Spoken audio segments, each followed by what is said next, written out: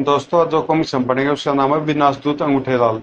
ये second part है, इसका पहला पार्ट है अंगूठे लाल और सारी दुनिया खतरे में। तो पहले आप उसको पढ़ लेना, तभी इसको पढ़ना, तभी आपको स्टोरी सही समझ में आएगी। वो कॉमिक्स आपको मिल जाएगी मेरे चैनल की प्लेलिस्ट में, अंगूठे लाल का फोल्डर होगा, उसके अंदर मिल जाएगी। और ये जो स्टोरी यहाँ पर दे रखी है, इसके पहले पार्ट की है तो मैं इसको छोड़ रहा हूँ, ताकि आपका मज़ा खराब ना हो, इसको आप पढ़ लेना, तभी स्टोरी सही समझ में आती है। तो यहाँ तक की स्टोरी थी इसके पहले पार्ट में। अब इससे आगे पढ़ता हूँ। इधर लॉकअप में। यानी मेरा संदेह गलत नहीं निकला। इस गाँव में कोई ज़बरदस्त चक्कर चल रहा है। हो सकता है ठाकुर के कंधे पर बंदूक रखकर यह चक्कर प्रोफेसर काकरोच चला रहा हो। वरना ठाकुर को, वरना ठाकुर को यह गाँव खाली कराकर भला क्या लाभ पहुँच सकता है। जबकि प्रोफेसर काकरोच को यहाँ अपना अड्डा कायम करने में लाभ पहुँच सकता है, क्योंकि यह गाँव शहर से बहुत दूर और काफ़ी हटकर है।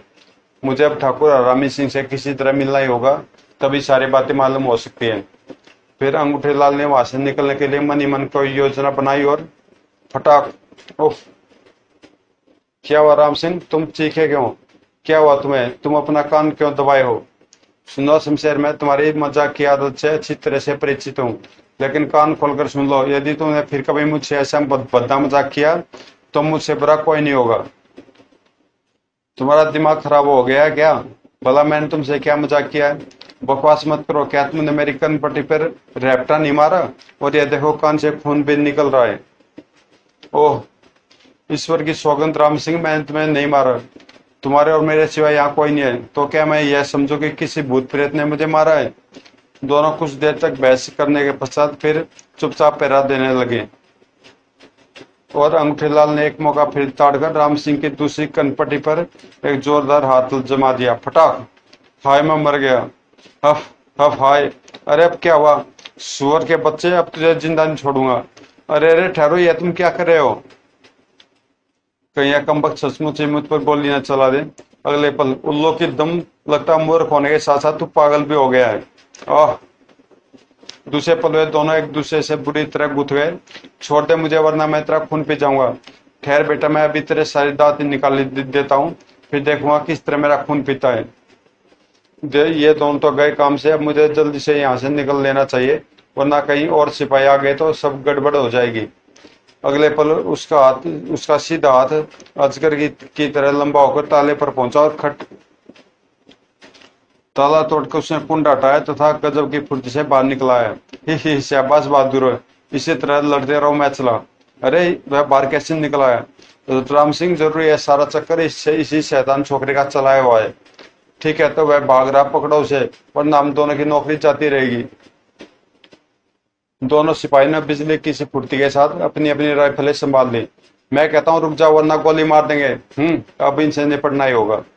अगले पल, हाय, उफ। यह कोई इंसानी भूत प्रेत है खतरे को विसल खतरे की विसल दो जल्दी। पी पी पकड़ो पकड़ो कैदी फरार हो रहा है। विसल और चीखने पुकारने का शोर सुनकर कई सिपाही दौड़े दौड़े उनके निकट पहुँचे। वह देखो कैदी भाग रहा है। ओह हथियार संभालो और उसका पीछा पीछा करो। मैं साहब को खबर कर, करता हूँ। जाओ ठीक है। चलो। जब अंगूठे लाल के फरार होने की खबर दरोगा विक्रम सिंह के पास पहुँचे क्या बकते हो? कैसे हुआ है सब? इस संबंध में मैं कुछ नहीं मालूम, सर। वैसे हमारे जवान उस छोकरे का पीछा कर रहे हैं। बकवास बंद करो और फ़ौरन जिप निकालो, मैं अभी पहुँचता हूँ। जी साहब, सिपाही के बाहर जाते दरोगा ने ठाकुर साहब के नंबर मिलाए और संबंध स्थापित होते ही गजब हो गया ठाकुर साहब वह छोकरा ने जाने कैसे लॉकअप से भाग निकला है क्या पकते हो? मैंने तुम्हें पहले ही उससे सावधान रहने के लिए कहा था।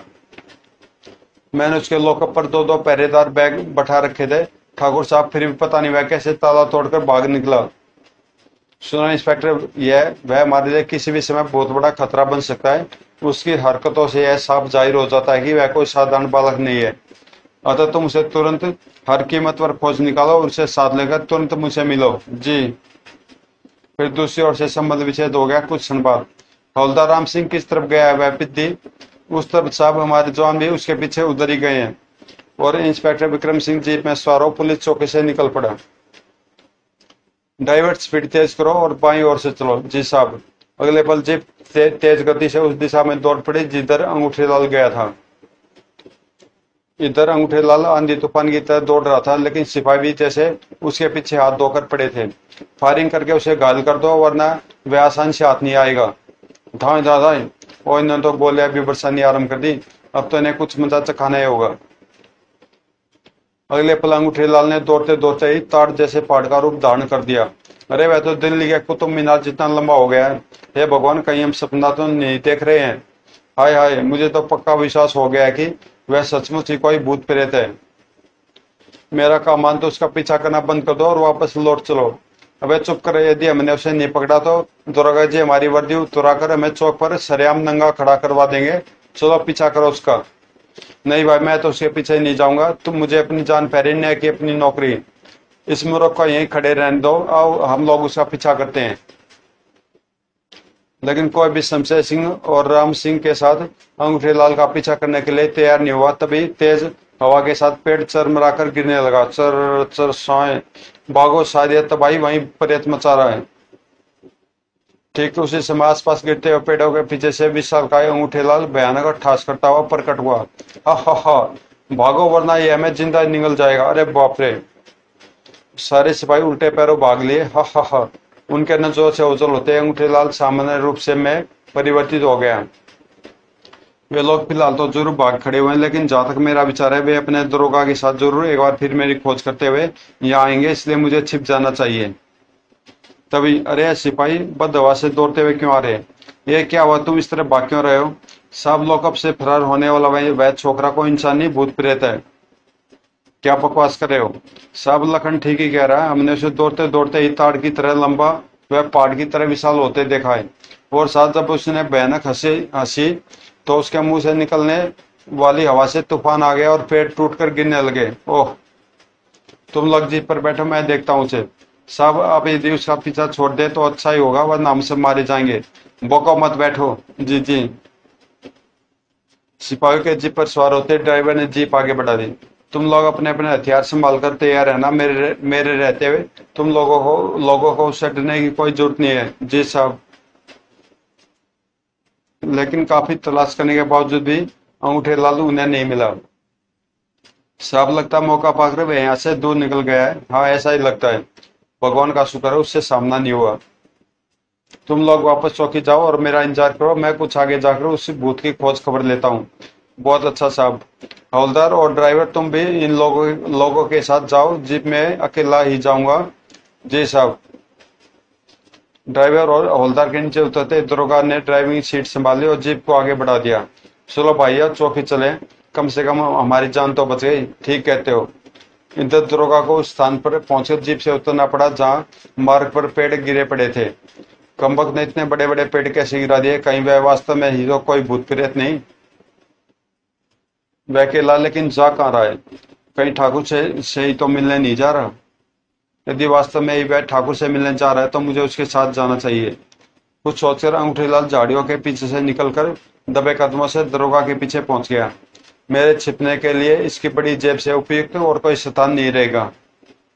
और बस अब ठीक है। जल्दी दरोगा ने जीप निकालने लायक रास्ता साफ़ कर लिया और जीप पर सवार होकर आगे चल पड़ा। कुछ देर बाद, हम तो मेरा विचार ठीक ही निकला। दरोगा साहब ठाकुर से ही मिलने जा रहे हैं। और पाँच मिनट बाद दरोगा ठाकुर के सामने था। मुझे खेद है ठाकुर साहब की मैं उस छोकरे को अब तक नहीं लाश का। यह बहुत बुरा हुआ, इंस्पेक्टर। वास्तव में वह कोई भूत प्रेत नहीं, बल्कि एक उन्नतिशील ग्रह का वासिंदा है।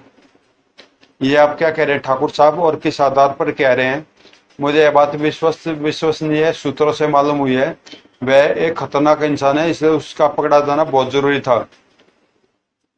खैर, तुम जाओ, अब मैं सम देखूँगा उसे। लेकिन ठाकुर साहब, जब गाँव वाले उसके विषय में पूछेंगे तो मैं क्या जवाब दूँगा?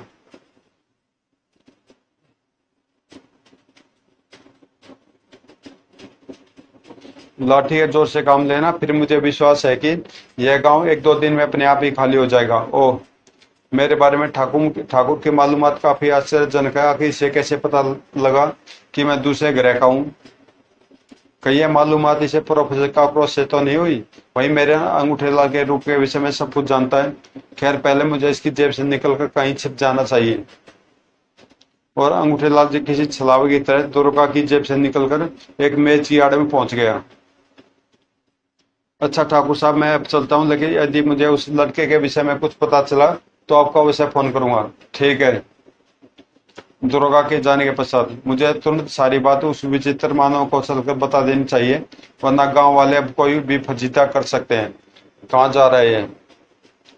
और जैसे ठाकुर उस कमरे से बाहर निकला, अंगूठे लाल उसका पीछा करने लगा, जबकि ठाकुर को अपना पीछा किए जाने का सपने में भी आभास नहीं था।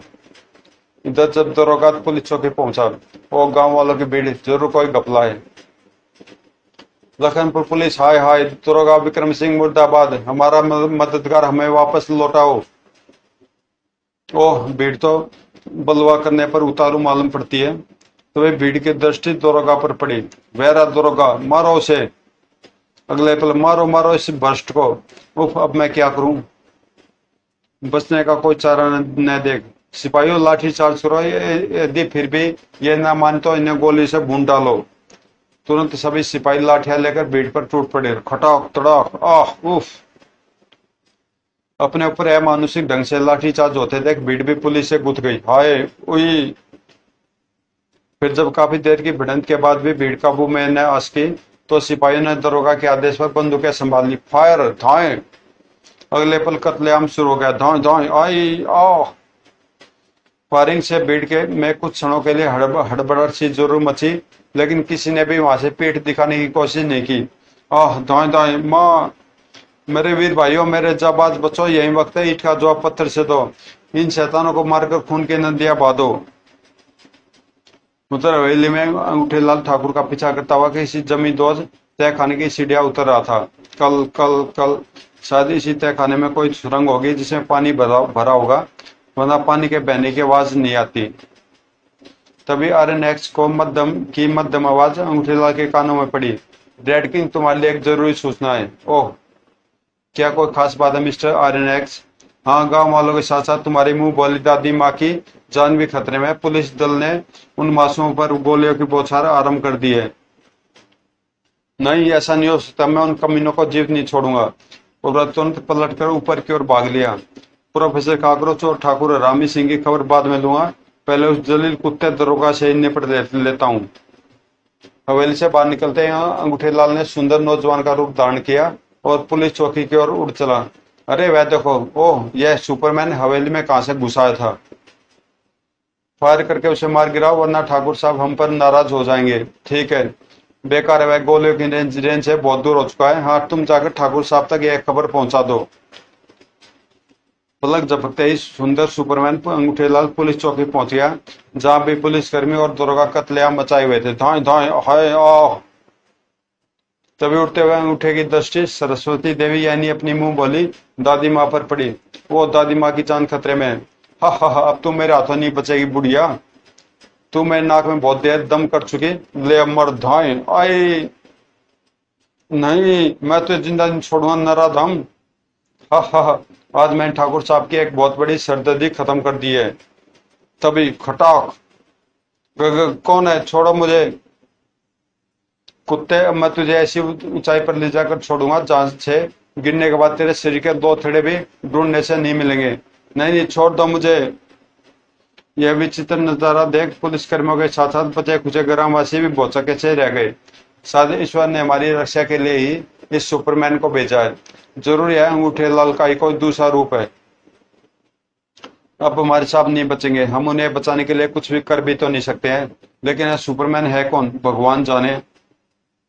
तभी आई नीचे गिरकर दरोगा विक्रम सिंह प्राण पखेर उड़ गए अब तुम लोगों की बारी नीच सिपाहियों। अगर अपनी जान बचानी है तो भागो। अगले पल अंगूठे लाल के दोनों हाथों से किरणों की बहुत सारे निकली और आई। बचाओ। पलक झपकते इक्कीस सिपाही किरणों की चमक के मध्य हवा के जोखों की तरह गायब हो गए। नहीं, भागो। लेकिन एक भी सिपाही वहाँ से जीवित बचकर भागने में सफल नहीं हो पाया। आई, उफ, आए, आह। सभी सिपाहियों का अंत होते ही अंगूठे लाल धरती पर उतरकर जट दादी माँ के निकट पहुँच गया। आँखें खोलो दादी माँ, देखो तुम्हारा अंगूठे लाल तुम्हारे पास लौट आया और तुम्हें कुछ नहीं होगा। ईश्वर की लीला सरस्वती देवी में अभी भी कुछ साँसें बाकी थी। तो तु, तुम कौन हो बेटा? और मेरा अंगूठी लाल कहाँ है? मैं ही तुम्हारा अंगूठी लाल हूँ दादी माँ। नहीं तो तुम देवताओं की तरह सुंदर एवं नौजवान अवश्य हो लेकिन मेरे अंगूठे नहीं हो। मेरा अंगूठे तो नन्ना बालक है जबकि तुम तुम वो मैं तो भूल ही गया था कि मैं अंगूठे लाल, का दूसरा रूप धारण कर चुका हूँ। अगले पल वंदन ने अंगूठे लाल में परिवर्तित हो गया। है, कहीं मैं सपना सपना तो नहीं देख रहा। आश्चर्यजनक जनक पलक झपकते बच्चा बन गया। कहीं यहाँ कोई जादूगर तो नहीं है। देखो दादी माँ, अब तुम तो अब तो तुम्हें विश्वास हो गया है ना कि मैं तुम्हारा नन्हा अंगूठे ही हूँ। हाँ हाँ बेटा, अब मुझे विश्वास हो गया है कि तुम कोई इंसान नहीं, बल्कि भगवान हो। नहीं दादी माँ, भगवान के साथ मेरी तुलना मत करो। उस सर्वशक्तिमान के आगे तो मैं एक रेतीले टीले की रेत के कण के समान भी नहीं हूँ। यह सब तो विज्ञान का छोटा सा चमत्कार है, भला एक वैज्ञानिक उस अलौकिक शक्ति के सामने क्या विषाद रखता है? खैर बेटा तुम जो कोई मुझे एक वचन दो ताकि मैं शांति और निश्चिंता के साथ अपनी अब आखिरी साथ छोड़ सकूँ। नहीं नहीं दादी माँ आपसे आपने अपने मरने की बात मत करो, करो। तुम तो इस गाँव की शक्ति हो यदि तुम चली गई तो इस गाँव वालों का क्या होगा? मेरे बच्चे समय बहुत कम है मैं अंतिम सफ़र तय करने से पहले तुमसे एक वचन चाहती हूँ बोलो दोगे? ज़रूर दूँगा दादी माँ बोलो तुम क्या वचन चाहती हो? मुझे वचन दो कि तुम ठाकुर जैसे शैतानों का अंत के बिना यह गाँव छोड़कर नहीं जाओगे। इस गाँव के लोगों को बेसहारा छोड़कर नहीं जाओगे। मैं वचन देता हूँ, दादी माँ, मैं ठाकुर ही क्या उस शैतान की पीठ पर हाथ रखने वाले हैवान का भी खात्मा किए बगैर इस गाँव से नहीं जाऊँगा। और अंगूठे लाल का वचन पाते सरस्वती देवी की गर्दन एक तरफ़ को ढुलक गई। दादी माँ, हे देवता, यह तूने क्या किया? अन्य लोगों के साथ साथ दूसरे ग्रह का पाषाण हृदय रेड किंग भी, सरस्वती देवी की मौत पर फूट फूट कर रो पड़ा। काफ़ी देर तक वहाँ मातम का दृश्य छाया रहा, उसके बाद अंगूठे लाल उठ खड़ा हुआ। आप लोग अन्य लोगों के साथ दादी माँ के भी अंतिम संस्कार का प्रबंध कीजिए और विश्वास रखिए, मैं तब तक यहाँ से नहीं जाऊँगा जब तक कि दादी माँ को दिया वचन पूरा न कर लूँगा। कहने के साथ ही, अंगूठे लाल पूरी शक्ति से एक तरफ़ भाग खड़ा हुआ। प्रोफेसर और ठाकुर हरामी सिंह सावधान हो जाओ, मैं मौत बनकर तुम्हारे पास आ रहा हूँ। लेकिन अभी वह पुलिस चौकी से कुछ ही दूर पहुँचा होगा कि अचानक वायु से एक सितारा प्रकट हुआ और तीव्र गति के साथ अंगूठी लाल की ओर बढ़ा। सावधान, रेड किंग, वह सितारा प्रोफेसर काकरोच का बेचक्र हुआ है और तुम्हें पासने के लिए आ रहा है। ओह। परंतु इससे पहले कि अंगूठी लाल अपने बचाव का कोई उपाय कर पाता, वह सितारा एकाक इंद्रधनुष से धुआँ में परिवर्तित हुआ और उसने अंगूठे लाल को अपने भीतर समेट लिया। आरएनएक्स मेरी मदद करो। सॉरी, रेड किंग, इस वक्त मैं आपकी कोई मदद नहीं कर सकता। हाँ मैं अब इस कैद से भाग रहा हूँ और बाद में आपकी मदद करने की कोशिश करूँगा। अगले पल आरएनएक्स धुआँ के उस बोंड से बाहर निकल आया। जल्दी ही मिलूँगा, रेड किंग, विदा। और आयरन एक्स तीव्र से एक और उठ चला। प्रोफेसर काकरोच ने अंगूठी लाल का क्या किया? क्या प्रोफेसर काकरोच लखनपुर गाँव को खाली करा सका ठाकुर हरामी सिंह का क्या हुआ? पूरे ब्रह्मांड पर हुकूमत चलाने के लिए प्रोफेसर काकरोच ने पूरी दुनिया पर क्या क्या कैरेट आए तो दोस्तों, इसका तीसरा पार्ट है अंगूठे लाल और प्रोफेसर काकरोच। दोस्तों, अगर कॉमिक्स आपको अच्छी लगी तो प्लीज़ चैनल को सब्सक्राइब ज़रूर करना। और मिलते हैं इसी अगले पार्ट में।